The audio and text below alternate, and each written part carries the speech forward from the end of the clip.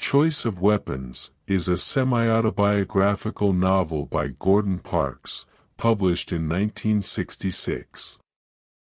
Parks was a notable photographer, filmmaker, and writer, who was the first African American to work as a staff photographer for Life magazine.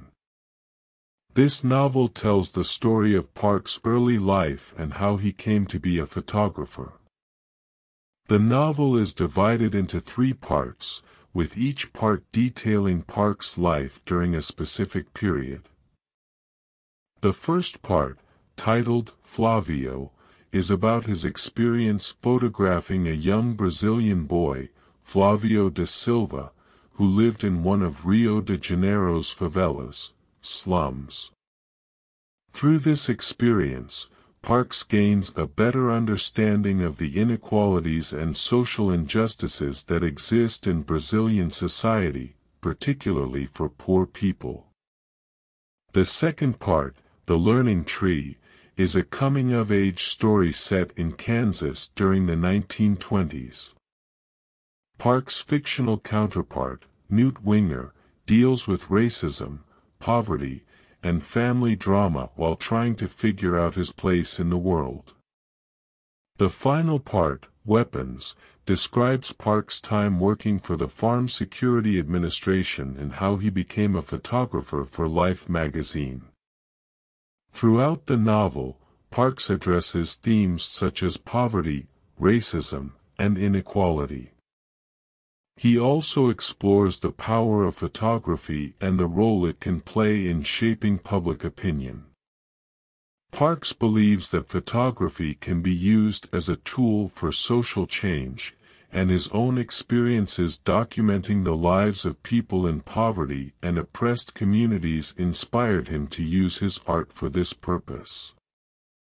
One of the strengths of the novel is its vivid portrayal of the different places where Parks lived and worked. Parks' descriptions of Rio de Janeiro's favelas, Kansas small towns, and Washington, D.C.'s government buildings, are all rich in detail and help the reader to visualize these places. Parks also does an excellent job of capturing the nuances of human relationships.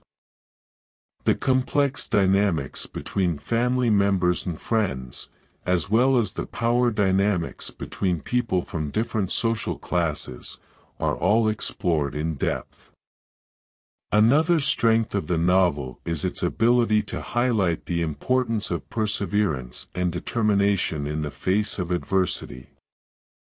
Parks faced numerous obstacles throughout his life, including poverty, racism, and a lack of education, but he never gave up on his dream of becoming a photographer.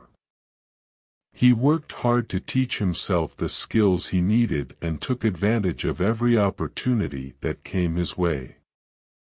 This determination and resilience are inspiring and serve as an example for readers who may be facing their own challenges.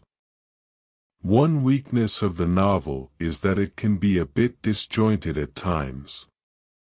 Because the novel is divided into three parts, it can feel like three separate stories rather than a cohesive narrative.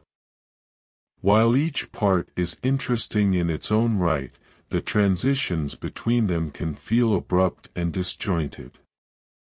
Overall, Choice of Weapons, is an engaging and thought-provoking novel that provides insights into the life of one of America's most important artists. Park's ability to capture the complexities of the human experience, as well as his unwavering commitment to social justice, make this a compelling read for anyone interested in photography, social activism, or African American history.